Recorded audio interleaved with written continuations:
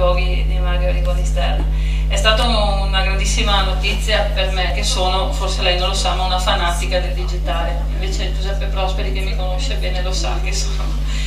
Però sono una utilizzatrice del digitale in maniera eh, sensata e questo cerco di applicarlo e di avviarlo anche a scuola.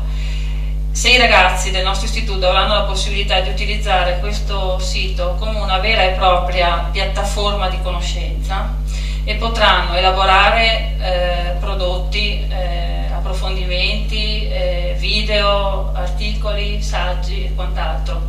E avere una repository, un posto dove poter inserire a memoria futura, proprio per quello che diceva anche adesso Mendicino, non dobbiamo perdere la memoria. Nemmeno di quello che facciamo, nemmeno di quello che approfondiamo e, e poi magari eh, non, sappiamo più dove va a finire. Ecco, questo, questa opportunità per la nostra scuola sarà enorme, sarà un vero e proprio progetto didattico che potrà andare avanti, diciamo, all'infinito, finché durerà il web potremo lavorarci. Quindi questo mi ha fatto venire in mente una serie di, di idee che poi vedremo di, di, di sviluppare. E quindi ecco, ho il piacere di presentarvi Sergio Frigo che per gli altopianesi non ha bisogno di presentazione, è altopianese lui stesso, uno dei massimi esperti delle opere di Mario Rigoni Stern appunto curatore di questo sito e luoghi di Mario Rigoni Stern, di cui abbiamo brevemente accennato adesso. E ci parlerà di Mario Rigoni Stern, compaesano del mondo. Grazie. Sì, è stato con un certo sgomento che nei giorni scorsi mi sono, sgomento, ansia possiamo dire, forse per ammorbidire, che mi sono reso conto che sono eh, tra i relatori sono l'unico altopianese nativo, diciamo, e questo mi carica anche un po' di responsabilità, per questo un po' di ansia, diciamo, nel intervenire su questo tema. E gioco forza quindi per me parlare del Mario da compaesano, anche se io per la verità, primo non sono di Asiago, sono di Canove, per cui scusate, ma secondo sono da 40 anni, abito lontano, un lontano abbastanza relativo, Padova, però comunque un'altra dimensione, diciamo così. Forse sono anch'io un montanaro di seconda classe diventato, come diceva Matteo Melchiorri questa mattina. Nel rileggere eh, il mio intervento ieri sera mi sono accorto che eh, ero scivolato eh, verso una dimensione autobiografica, non nel senso che parlavo di me stesso, ma nel senso che ero portato a confrontarmi con la figura del Mario, compaesano che aveva fatto ritorno a casa, eh, in relazione al me stesso compaesano che invece se n'era andato. E mi è venuto in mente alla fine che questo intervento in qualche modo ehm, eh, risponde, è un tentativo di risposta a una domanda che mi aveva fatto più volte Mario, ehm, scuotendo la testa un po' con compatimento, un po' con disapprovazione. Mi chiedeva, ma come fa a stare a Padova? Come fa a stare in città? E magari si parlava di eh, inquinamento o di traffico, eh, però il sottinteso era come fa a vivere lontano dalla sua comunità, come fa a scegliere eh, come residenza un posto diverso da questa meraviglia in cui siamo, abbiamo avuto la fortuna di nascere. Allora non sapevo bene cosa rispondere e farfugliavo qualcosa che aveva a che fare con le occasioni di lavoro, qualche volta credo di aver citato il famoso motto secondo cui la città rende liberi, ma di fatto una risposta vera non sono mai riuscito a formulargliela. E ora sono giunto un po' alla conclusione che eh, la risposta sia non tanto nel modo in cui io e, e molti altri altopianesi espatriati, diciamo così, stiamo al di fuori dell'altopiano, ma forse nel modo con cui il Mario stava qui sull'altopiano. Ecco, allora andiamo con ordine. Io partirei da un'immagine che mi intriga fin da quando ero poco più che adolescente è una cartolina con un omino vestito di tutto punto, cappello in testa e valigia in mano, che sta partendo con un passo deciso, solo che il suo piede è legato ad un palo con una catena. Credo che si tratti di uno dei quadri paradossali dipinti da René Magritte, quelli per capirsi in cui c'è l'uomo che si guarda allo specchio e vede la sua schiena, per esempio, no? Questa immagine purtroppo non la trovo più né nei cassetti di casa né su internet, l'ho cercata a lungo, mi sarebbe piaciuto molto farvelo vedere perché secondo me rappresenta bene in maniera diretta e speculare, visto che parliamo di specchi, eh, il rapporto ambivalente di noi altopianesi espatriati con la nostra terra. La cartolina in questione mi era stata infatti regalata da un amico e compaesano con una domanda che era più o meno questa. Eh, quest'uomo che parte, sono io o sei tu? Facendo riferimento appunto alla eh, coesistenza conflittuale dentro di noi, della spinta ad andarsene da quassù e del desiderio di tornare per fermarsi, per poi magari avere di nuovo dopo poco il desiderio di andarsene di, nuovo. Ecco, a me pare che anche in Mario Rigoni Stern coesistessero queste due anime, quella dell'uomo che parte, che ci ha illustrato il Mario Sneghi questa mattina, che, ci, che parte senza peraltro mai tagliare del tutto i ponti dietro di sé, e quella dell'uomo che ritorna, che è più in sintonia con l'immagine classica che abbiamo eh, coltivato di lui Ecco, eh, solo che per illustrare compiutamente questa sua seconda anima ci vorrebbe in realtà un'immagine speculare a quella che vi ho descritto. Eh, anche perché il Mario che ritorna dalla guerra nella sua eh, strada più bella della terra, la sua via Ortigara, nel racconto che magro che sei fratello, fratello, ha dietro di sé dei fili robustissimi, di cui parleremo più avanti, che gli impediscono di ripararsi, nel senso di trovare riparo, ma anche di riaggiustarsi eh, all'ombra della sua casa, nei suoi boschi con la sua famiglia, ma lo tengono legato al vasto mondo eh, eh, di cui per cinque lunghi, lunghissimi anni ha fatto esperienza. Ecco, il Mario compaesano inquieto però in realtà c'era già in luce, eh, in luce nel bambino che assieme agli amici si arrampicava sui quattro larici che fino all'anno scorso erano fuori dalla, dalla scuola a lui dedicati, dedicata e si arrampicava con i ragazzi, con i compagni, per leggere libri di pirati e corsari vagheggiando avventure nei mari lontani.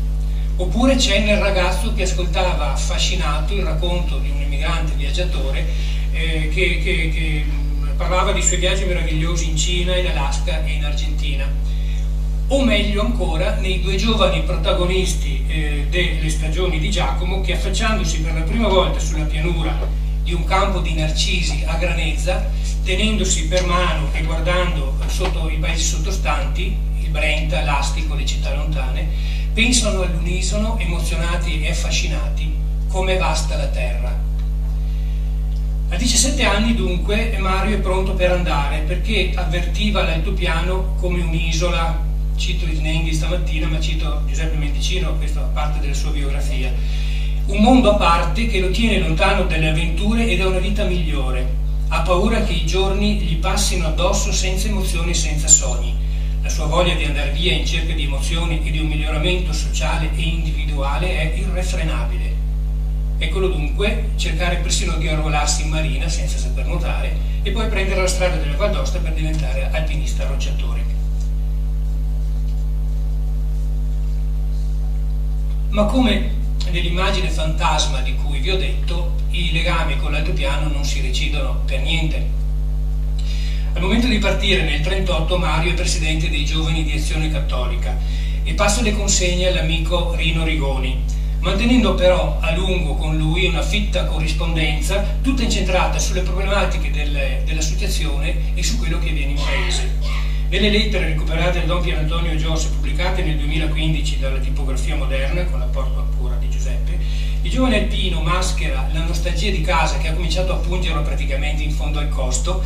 eh, dietro al racconto scanzonato e vivace della vita militare e delle sue avventure sulle cime alpine. Ma chiede continuamente notizie degli amici, esulta quando riceve delle fotografie e delle cartoline da loro, condivide i lutti della comunità e anche gioisce per le poche gioie che in quegli anni cupi la comunità conosceva. Il ricordo di Esiago si fa particolarmente intenso e accorato il 17 maggio del 39, giorno della grande erogazione. In quel giorno ero in riva ad un fiume per far tattiche di guerra, scrive qualche settimana dopo a Rino. Ma il mio spirito era con voi e alla sera mi pareva che nelle orecchie mi risuonassero come negli anni passati i Sancte Mattei, Sant'Antoni, eccetera, eccetera un ricordo che diventa doloroso timore di essere dimenticato dalla sua comunità l'anno successivo, quando rispondendo ancora a Rino che gli diceva delle ragazze che avevano chiesto di lui durante l'erogazione, gli dice chi vuoi che si ricordi ancora di me che sono ormai 18 mesi che sono soldato. Ecco, essere dimenticato della sua comunità è la cosa che, che più lo, lo, lo, lo preoccupa, diciamo. Mi ricordo un po' il Tenle che la sera del, del passaggio del secolo accende un falò, eh, e, lui ovviamente è l'agitante, un falò sul cimo del Monte Casso per far sapere alla sua comunità che festeggia che anche lui è lì in mezzo a loro. Ecco, eh, eppure il Mario ancora nel dicembre del 41, quando aveva già assaggiato le durezze della guerra in Francia e in Albania, eh, ancora in lui è forte il richiamo del viaggio e dell'avventura se scrivendo alla famiglia del santo benedetto vescovi dice fra poco lascerò l'Italia per ritornare a camminare e combattere. Sono contento, contentissimo. Il mondo è bello da girare e poi si imparano tante cose. Vedrò la vecchia Austria, l'Ungheria sognatrice la Bulgaria odorosa, la laboriosa Romania, l'ubertosa Ucraina. E poi chissà che non, vada, che non vadi a finire nel Catai sulle orme di Messer Marco Polo.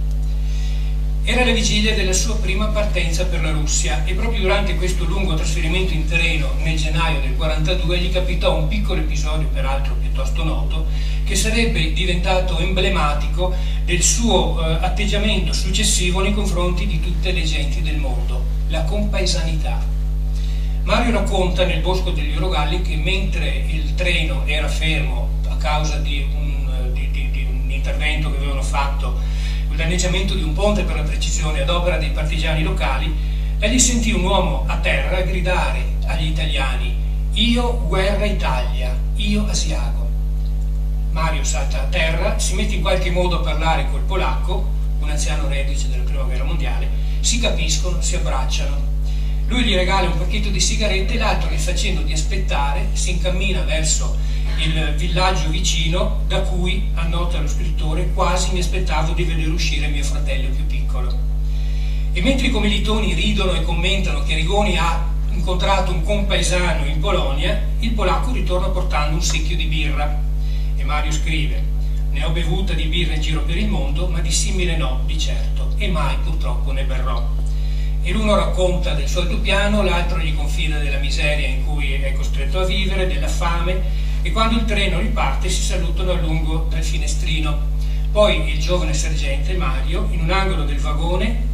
virgolettato, accompagnato dal ritmo delle ruote sulle rotaie, pensava per la prima volta in vita sua al destino della povera gente, alla guerra che pretende che la povera gente s'ammazzi a vicenda e si chiedeva chi ritornerà di quanti siamo su questo treno, quanti compaesani uccideremo e perché? C'è che al mondo siamo tutti paesani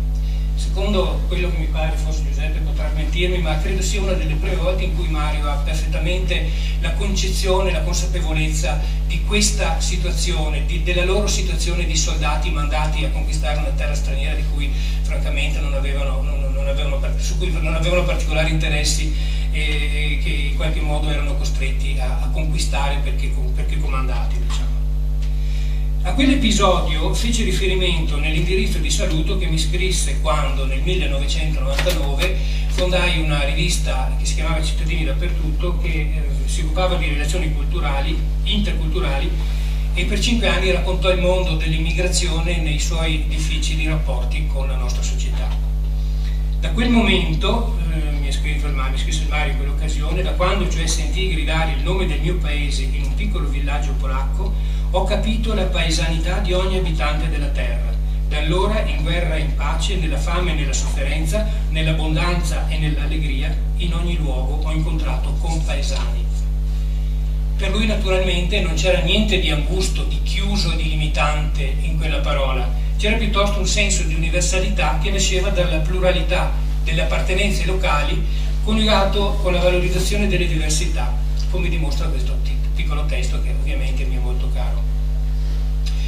L'allontanamento dalla sua piccola patria, l'andare, nel mondo, si chiuderà apparentemente solo dopo i tre terribili anni della Russia e della prigionia. Quel maggio del 9 maggio del 1945 che lo vide presentarsi lacero, magro e malato alla sua casa in via Ortigara proprio la sera della grande erogazione.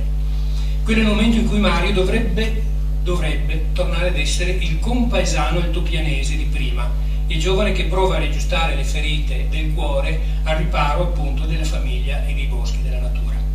In realtà, eh, come ho già detto, anche l'uomo che torna, come quello che parte, ha qualcosa che lo lega dietro le spalle. Sono delle catene pesantissime, e parlo del ricordo angoscioso dei tantissimi compagni eh, morti eh, nella guerra che lo accompagnerà per tutta la vita e che rischiano di affondarlo nella disperazione, ma per fortuna parlo anche dei fili più lievi che lo tengono a galla nel dolore e sono la rete di relazioni umane intessute negli anni di guerra, un fardello di esperienze e di riflessioni inedite, un sempre più maturo senso della storia in cui egli era immerso. E tutto questo lo lega inevitabilmente al vasto mondo delle idee e delle genti. Si tratta di un patrimonio umano e intellettuale che avrebbe trasformato negli anni successivi il selvaggio ragazzo altopianese che egli era stato fino a prima del conflitto, nelle lettere si definiva un orso, nel grande scrittore, nell'uomo saggio e profondo che tutti noi abbiamo amato. Uno scrittore che seppe far diventare la sua esperienza individuale, la sua guerra, la sua vita nella piccola comunità, un racconto universale. Egli non fu infatti solo il cronista sconfitto di una disfatta epica, etica prima ancora che militare, ma l'antisignano di un scatto non solo personale. E non fu solo il cantore del suo, del nostro altopiano, ma forse suo malgrado, l'interprete di tutta la montagna, anzi di tutti gli uomini che vivono ai margini della nostra modernità e che rischiano di essere triturati dal progresso e risucchiati dalle secche di un meschino, meschino localismo. Quel patrimonio di esperienze e riflessioni a cui ho accennato riversandosi nei suoi libri fu il lievito, capace di trasformare un'esperienza di vita ancorata profondamente ad un piccolo e ristretto territorio in una narrazione accessibile ai lettori di tutto il mondo, che lo sentivano e ancora lo sentono come il nostro scrittore, che è la frase che fu usata in occasione del convegno organizzato qui ad Asiago per il suo 85 eh, compleanno dai suoi traduttori giapponesi. E nella stessa occasione il suo traduttore ebraico Arno Bayer scrisse, disse che i suoi personaggi sono uomini e donne senza nome nella storia, persone vere a cui vorresti stringere la mano e alle quali ci si sente legati da una implicita fratellanza universale. Questi è dunque il Mario compaesano del mondo che a partire da quel difficile dopoguerra avrebbe convissuto accanto al Mario compaesano di Esiago, cercando alimento alle sue speranze in un mondo pacificato, nella natura vicina, che in lui è risanatrice delle ferite delle storie, come ci ha fatto capire anche l'intervento di Mercalli stamattina, e poi nel rinnovato contatto, diretto o per iscritto, con gli uomini più diversi, con i quali confrontare le rispettive appartenenze e dei quali assorbire nuove idee nel rispetto delle differenti identità. Sono stati molti da allora gli amici vecchi e nuovi che egli ha accompagnato per le nostre montagne, oppure richiamato quassù con i suoi scritti, fino a far storcere il naso a qualche compaesano geloso dei propri angoli nascosti e timoroso forse di mettere a rischio la propria identità confrontandosi con qualche identità foresta. Ed era proprio mentre affondava sempre più in profondità le sue radici, come un grande albero, che egli spingeva verso l'alto e sempre più lontano i suoi rami. Quel patrimonio naturalmente andava alimentato dalle letture e da significative eh, relazioni umane intellettuali, come ci ha appena raccontato Giuseppe, ma anche da numerosi viaggi sulle tracce della memoria, come quelli in Russia, in Ucraina, in Polonia, eppure nei paesi, una quindicina almeno, in cui lo invitavano le istituzioni culturali o le università sulla scorta del suo crescente eh, successo letterario. Naturalmente c'era ben poco di convenzionale nel suo viaggiare. La signora Anna mi ha raccontato che preparava queste trasferte con cura meticolosa mesi prima, procurandosi e studiando le cartine, persino i sentieri, e una volta sul posto voleva soprattutto incontrare le persone, capire come vivevano, con una particolare attenzione al rapporto fra le comunità e il territorio, il loro ambiente, diciamo. Di questo rimangono ottimi reportage pubblicati soprattutto sulla stampa e poi raccolti in alcuni volumi come il magico esempio. Soprattutto Mario non accettava limiti, condizionamenti eh, al suo andare anche in questi paesi stranieri, arrivando persino a rifiutare un invito ufficiale in Albania quando seppe che non gli sarebbe stato consentito di visitare i luoghi in cui aveva combattuto. Anche nella maturità egli coltivò infatti quell'ostilità verso le imposizioni e verso i muri confinari che lo caratterizzava fin da ragazzo e che trasfuse in intende il suo alter ego letterario, a sua volta diviso, come abbiamo sentito stamattina, tra le forze che in primavera lo trascinavano via dall'altopiano e le forze che in autunno lo riportavano a casa. Un'attitudine, quell'ostilità verso i confini, diciamo, eh, che traspare, eh, ad esempio, nel racconto della sua salita a Cima 12, quando aveva già 63 anni, con nipote, in cui delinea con bonaria ironia una vicenda dei primi del Novecento, quando attorno alla cima più alta dell'altopiano si era sviluppata una pittoresca bega di confine fra gli irredentisti italiani e quelli austriaci che loro presidiavano il confine, il versante trentino. Attorno agli inizi del Novecento, scrive Mario, eh, sfida Cima 12 questo racconto, era accaduto che qualche pattuglia di soldati austriaci ogni tanto sconfinasse, ma forse era solo per incontrarsi con le nostre pattuglie di alpini, con il fine di scambiarsi un sorso di grappa o una borraccia di vino, lì ai piedi della 12.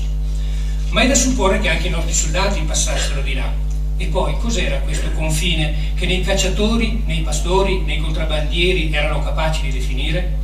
Ma ai patrioti e ai nazionalisti questa cosa non andava. Ne seguirono blitz dalle due parti per dipingere dei rispettivi colori la croce che c'era sulla cima, proteste ufficiali contro blitz riparatori. L'atteggiamento di Rigoni Stern verso queste beghe di confine era quello che ho detto, un po' ironico, di sufficienza. Era quello di pastori cacciatori e contrabbandieri che non se ne curavano e continuavano le loro attività come avevano sempre fatto. Quella montagna restava Joc, o cima delle 12, e l'antico e il nuovo esistevano insieme questi motivi oggi lui probabilmente inorridirebbe, ne abbiamo parlato anche con Alberico, di fronte al ritorno dei muri e dei confini, delle separazioni e delle chiusure localiste che stanno imperversando in tutta Europa. Mario, lo sappiamo, amava intrattenersi con i compaesani per una chiacchiera al bar, o incontrarli e fermarsi con loro per i sentieri delle nostre montagne, Oppure amava girarsi in questo periodo dell'anno, naturalmente, che coincideva anche con il suo compleanno, eh, tra le tombe del cimitero per ritrovare amici e familiari scomparsi. E ha lasciato in eredità alla sua comunità un'identità che è fiera di se stessa, ma al tempo stesso non discrimina né esclude gli estranei, anzi, proprio nel libero e fecondo confronto con essi ritrova la sua ragione d'essere ed esalta la sua specificità. Ma la sua eredità etica prima ancora che letteraria, è diventata un blasone universale, quasi l'emblema di una nobiltà accessibile a tutti coloro che hanno un cuore puro, amore per l'uomo e rispetto per la natura, al di là della loro lingua, della loro religione o del colore della loro pelle. Ecco dunque, caro Mario, la mia risposta alla domanda come effetto a star via dall'altopiano si può stare nel mondo senza tradire l'altopiano come cerchiamo modestamente di fare noi espatriati, proprio perché, come hai fatto tu, si può stare sull'altopiano senza uscire dal mondo, anzi combattendo fino alla fine per cercare di renderlo un po' migliore. Quassù batti il cuore del mondo, ma nel mondo, grazie ai tuoi libri, batti il cuore dell'altopiano.